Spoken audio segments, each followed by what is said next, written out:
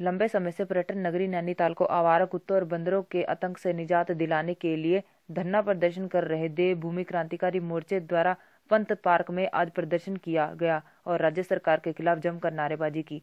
देवभूमि क्रांतिकारी मोर्चे के अध्यक्ष के एल आर्या ने कहा कि वर्ष 2013 से लेकर 2017 तक नैनीताल में कई लोगों पर आवारा पशुओं ने हमला किया है, जिनमें दो नन्हे मासूमों की जान भी चली गई है। किंतु शासन और प्रशासन के अधिकारी उच्चतम न्यायालय का हवाला देकर आवारा कुत्तों, बंदरों के आतंक को रोकने में असमर्थता दिखा रहे हैं। पर्यटन नगरी नैनीताल को आवारा पशुओं से निजात दिलाए जाने की मांग को लेकर आज अपर जिलाधिकारी के माध्यम से प्रधानमंत्री और मानव संसाधन मंत्री को पत्र भेजा गया है। साथ ही कड़ी चेतावनी देते हुए उत्तराखंड क्रांतिकारी मोर्चे के अध्यक्ष ने कहा कि अगर उनकी जन समस्याओं की मांगों पर एक माह के अंदर शासन और प्रशासन द्वारा कोई ठोस कदम नहीं उठाएगा तो उत्तराखंड क्रांतिकारी मोर्चा द्वारा अनिश्चितकालीन धरना प्रदर्शन किया जाएगा, जिसकी संपूर्ण जिम्मेवार शासन प्रशासन की होगी।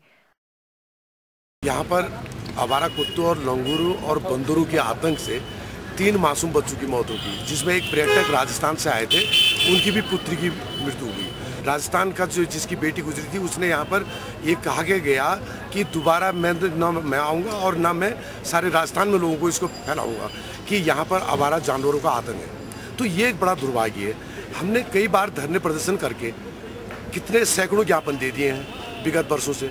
तो इसमें उत्तराखंड सरकार और जिला प्रशासन को बिल्कुल नाकाम रहा है। हमने मजबूरन विवश होकर के निर्णय लिया है कि हम आज जुलूस के साथ में, जिलाधिकारी नैनीताल के माध्यम से हम माननीय प्रधानमंत्री जी को और मानव संसाधन मंत्री मेनका गांधी जी को ज्ञापन दे रहे हैं। आगामी 15 जनवरी तक यदि हमारी मांग भारत सरकार के द्वारा, मानव संसाधन मंत्री के द्वारा और राज्य सरकार के द्वारा स्वीकार नहीं की गई तो आगामी 16 जनवरी से फिर पुनः हमको यही इसी प्रकार से जुलूस और धरना प्रदर्शन अनिश्चितकालीन करना पड़ेगा।